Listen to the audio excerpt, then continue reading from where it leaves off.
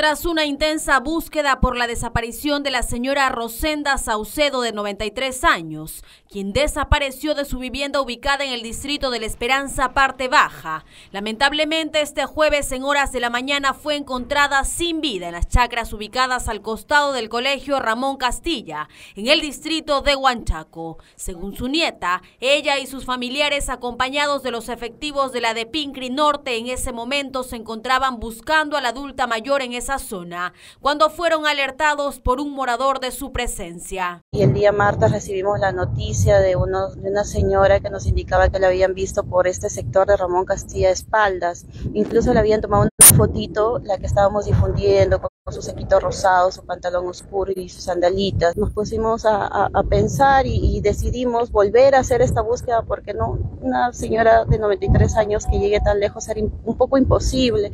Y hoy día hemos venido con carros, camionetas, megáfonos a perifonear porque ya de verdad el tiempo que transcurría y más era la desesperación. El día de hoy, lamentablemente, le hemos encontrado a nuestra abuelita ya en esta, en esta parte, ¿no? Pues hay un montón de espinas donde ella aparentemente se ha caído muerto deshidratada, ¿no? Según indica una de las nietas, algunos de los vecinos de esta zona habrían visto a su abuelita el último lunes en horas de la noche y hasta pudieron dialogar con ella, momento en el que la adulta mayor les habría indicado que fue dejada por uno de sus hijos en el lugar. Las declaraciones de tres, cuatro personas nos indica que cuando le encuentran a ella el lunes a las 7 de la noche, ella declaraba que uno de sus hijos la había dejado en un auto. Incluso un poblador que tiene su mototaxi ha indicado de que ha visto ese auto, pero por la oscuridad no pudo ver qué color era el auto. Ni anotar la placa. Ni anotar la placa ni nada, pero ella decía de que tenía que esperar a su hijo porque él la iba a venir a recoger.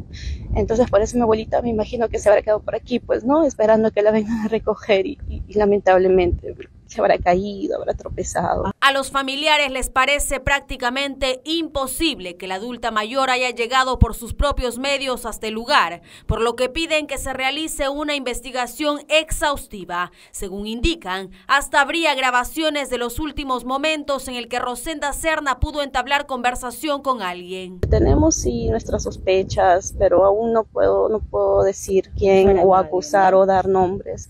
Pero esperamos que con la investigación, con la ayuda de las autoridades para que nos puedan brindar las cámaras, ver si efectivamente, como dicen, ¿no? que se venía caminando, o ver ese auto que ha venido y la ha dejado hasta aquí, con qué intención, con qué maldad, y si efectivamente ha sido algún familiar, para es poder... Una persona extraña, ¿no? Que hasta el momento Exacto, no y poder, y poder determinar, porque yo no creo que mi abuelita sola haya podido transitar por toda esta trocha de la esperanza hasta, hasta aquí. Que ellos sí tienen las grabaciones de nuestra abuelita manifestando eso, ¿no? De, de que el hijo la había traído, que se quería deshacer de ella y eso, ¿no? Hijos y demás nietos de Rosenda Saucedo también se hicieron presentes en el lugar. Lo que se espera es que las autoridades realicen las investigaciones correspondientes lo más pronto posible, pues se trataría de un caso en donde podría existir ciertos intereses de por medio.